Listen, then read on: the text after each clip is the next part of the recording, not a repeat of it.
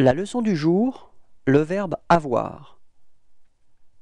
Verbe avoir mode indicatif temps plus que parfait. J'avais eu. Répétez. Tu avais eu. Répétez.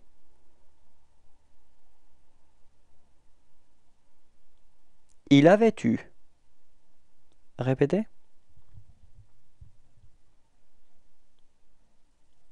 Nous avions eu. Répétez. Vous aviez eu. Répétez.